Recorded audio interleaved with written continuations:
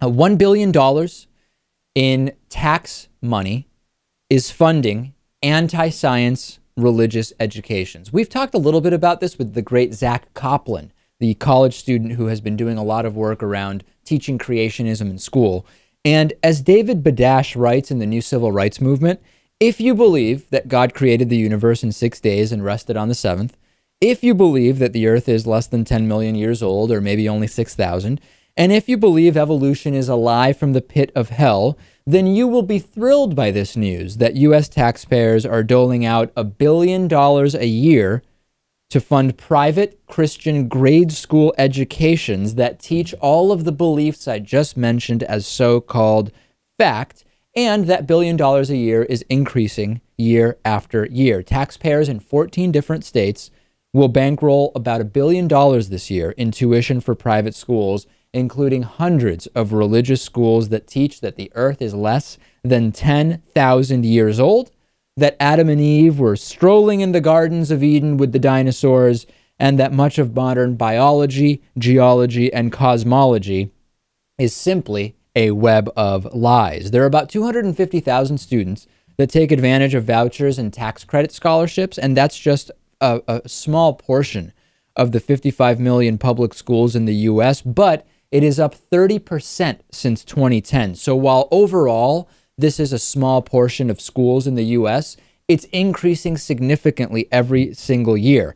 The sad part about this, the saddest part, is that we are now at a time where scientific research and knowledge is advancing more and more rapidly. And we have better and better explanations for I, I guess for everything, for everything in our universe. And at the same time, we have these voucher programs which are allowing taxpayer funded teaching of non science in science classrooms. And of course, the Koch brother group, Americans for Prosperity, is a huge, huge player in the push for these voucher programs. It's it's just so sad, Lewis, and we see it reflected in the numbers. The the US is falling further and further behind when it comes to science and math preparation for students relative to other countries. Yeah, it's bad. We need to catch up. I mean, these are important things. It's it's going to be hard to stop at the federal level, and rarely is it even being stopped at the state level. It seems like uh, individual counties are the ones that have to kind of stop this uh, this type of teaching. Right. Didn't in, we see that there was a specific parish in New Orleans or something that had to, at their level, actually pass a, a, a vote on this? That's how granular it's gotten. Yeah, yeah, it really is. So uh, it, it's it's a really tough battle. I thought that the right was against government involvement in education. I thought the right was against redistribution of wealth. This is moving tax dollars specifically to those who are religious and want a specific type of education for their children. This is yet another form of redistribution of wealth, which supposedly the American right opposes. But as usual, the right wing actions completely run counter to the right wing words and claims about what they want. And I would actually say to them, why even bother with any of this?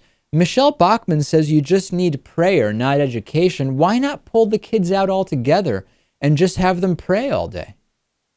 Uh, I guess Michele Bachmann's not the authority anymore. I, I don't know. Yeah, maybe it's not up to Michele anymore. We've got an excellent, excellent bonus show planned for you today. And the bonus show is hosted by producer Lewis. I am the sidekick. We will talk about homeopathic products being recalled because they incorrectly contained actual active ingredients.